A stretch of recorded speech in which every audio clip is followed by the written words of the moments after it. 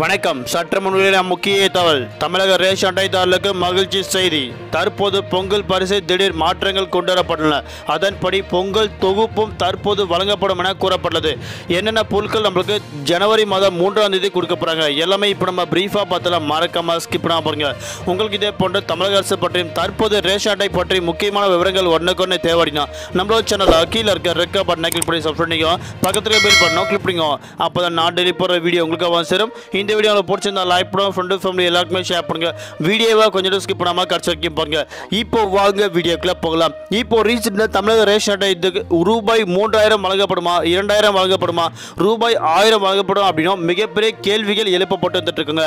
ஆனால் இப்போ ரீசெண்டாக பார்த்தீங்கன்னா ஒரு முக்கியமான தகவல் வெளியிட்டாங்க. அது இருந்தால் இப்போ நம்ம பார்க்க போகிறோம் அரிசி குடும்ப அட்டைதாரர்களுக்கு இருபது பொருட்கள் அடங்கிய பொங்கல் தொகுப்பு மற்றும் முழு கரும்பு ஒரே தவணையில் வழங்க வேண்டும் என்றும் தற்போது பொங்கல் பரிசு இல்லை என திரும்ப அனுப்பக்கூடாது என்று நியாய விலைக் கடைகள் பணியாளருக்கு தற்போது அறிவிக்கப்பட்டுள்ளனர். இது குறித்து கூட்டுறவு சங்கங்களின் பதிவாளர் அனுப்பியுள்ள சுற்றறிக்கையில் கூறியதாவது தமிழக அரசு சார்பில் பொங்கல் பண்டிகை முன்னிட்டு பச்சரிசி வெல்லம் முந்திரி திராட்சை ஏலக்காய் ஆகிய பொருட்களுக்கான தற்போது மளிகை பொருட்களும் இருபது வகையான மளிகை பொருட்களும் தற்போது கொடுக்கப்படும் என கூறப்பட்டுள்ளது.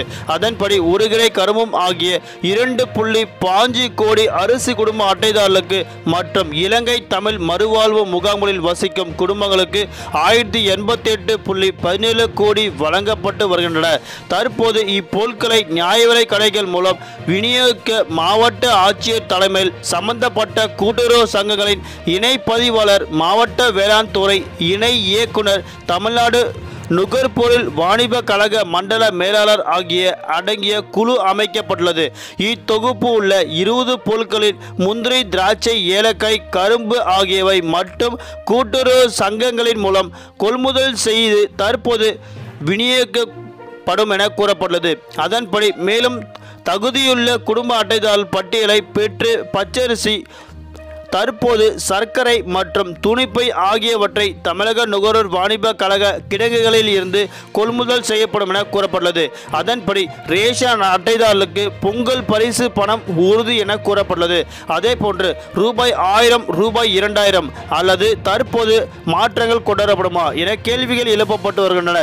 இதன் அடிப்படையில் ரூபாய் ஆயிரம் அல்லது ரூபாய் இரண்டாயிரம் கொடுக்க வாய்ப்புள்ளதாக கூறப்பட்டுள்ளனர்.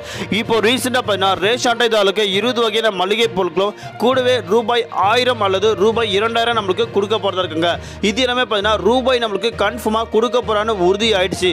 ஆனால் நம்மளுக்கு ஆயிரம் ரூபாய் கொடுப்பாங்களா? இல்லை இரண்டாயிரம் ரூபாய் கொடுப்பாங்களா? அது ஒன்று மிகப்பெரிய கேள்விக்குறியாக தான் வந்துட்டு இருக்கு என்ன எப்படின்னு நம்மளோட சேனல் அடுத்த வீடியோவில் பார்த்துலாம் ஆனால் தற்போது வரைக்கும் பார்க்கும்போது ஜனவரி மாதம் ஒன்றாம் தேதிக்குள்ள ரேஷன் அட்டைதாரர்களுக்கு தொகுப்புகள் அதாவது ரேஷன் அட்டைதாரர்களுக்கு பணம் கொடுக்க போகிறாங்க அதில் எந்த ஒரு மாற்றமும் கிடையாது. நன்றி வணக்கம்.